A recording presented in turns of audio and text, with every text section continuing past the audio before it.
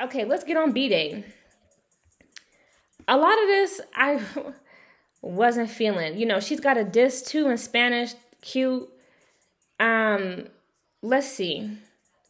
Beautiful Liar, it's okay. It's a nice little radio hit. Irreplaceable, it's a good hit. Green Light, I liked Green Light. Um, Kitty Kat, my song.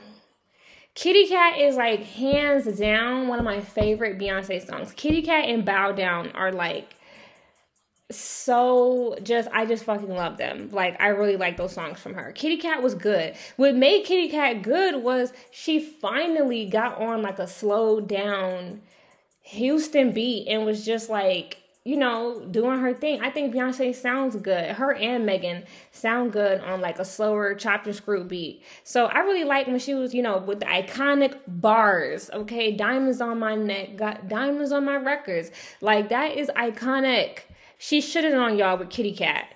Beyonce dog walk y'all hoes. Kitty Kat is my motherfucking song. But a lot of this other mess I'm not here for. I'm so sorry. Like Freakum Dress was okay. I know y'all probably love that song, but some of this stuff, I don't like some of the instrumentation. Like, this is what I'd be talking about when I talk about originality.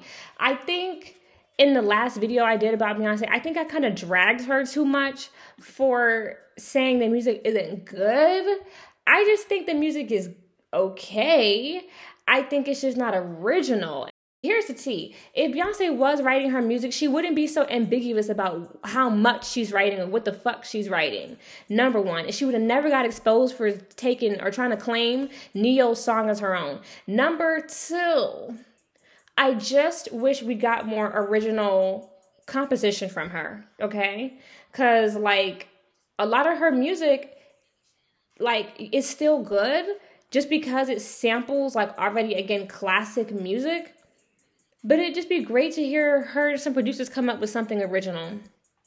Just me. Cause it's like, uh, it's it's like to be honest, you're just mixing down again already made classics, putting decent vocals on top and okay lyrics.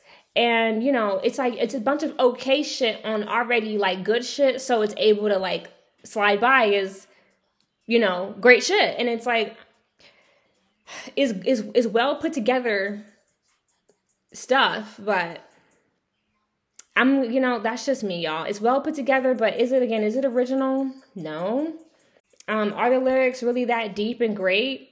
Yeah, if they're somebody else's. Um, let's see what else is on here. I just praised Kitty Kat. Welcome to Hollywood. Really didn't like. Upgrade U. Good song. But if you don't catch that line, you take me just to compliment the deal. That's the type of subliminal fucking programming I'd be telling y'all about with Beyonce's music. Okay, this video is no more ambiguity about what I'm talking about. In this video, if the BeyHive attacks me, whatever. What else is going on? Upgrade U was a good song. Her and Beyonce, her and Jay Z did a good thing. It's great instrumentation. It's great production. You can hear though. Let me find who sampled this. You can hear it sampled from somewhere else. Betty Wright. Girls can do what the guys can do. See what I'm saying? And Betty Wright makes fucking nothing but classic hits. So just saying. I think, and that's that's why I agree with Prince with him talking about the music industry. I think something but samples. That's the issue I have with music today. Everybody's just sampling, sampling, sampling, sampling. It's just lame. Like, goddamn, are y'all niggas really musicians or not? Like musicians make motherfucking music. They don't listen to other people's music and mix it around. That's a motherfucking, you know, you a DJ, nigga. But are you really a musician? I don't know. I don't think so. Flaws and all. I think it was a good song. Decent lyrics to that.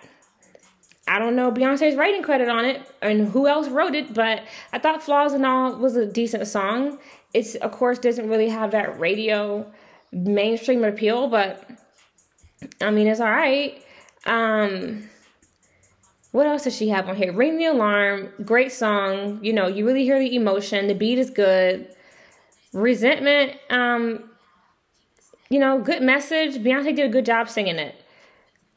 Um, Listen for Dreamgirls, good song too. Beyonce did a good job singing it. The vocals are there. Deja Vu, great song, great production. Um, Sugar Mama, great song, great production. Freakum Dress, not me, but y'all like it. So I'm gonna write it off as overall good song. You know, people like that. Um, if I don't recall if Get Me Bodied, um, nice club banger. Worldwide Woman, uh, I can't think of how it sounds sonically. I forgot. I haven't listened to it in a long time. So this is just, you know, I honestly think B Day's a great, great album. Great album. To be honest, I think it's a great follow up. It really does beat the sophomore slump. Now that I'm really looking over these songs again, it beats the sophomore slump. A lot of people can't really hang in there by album two, but Beyonce did really good.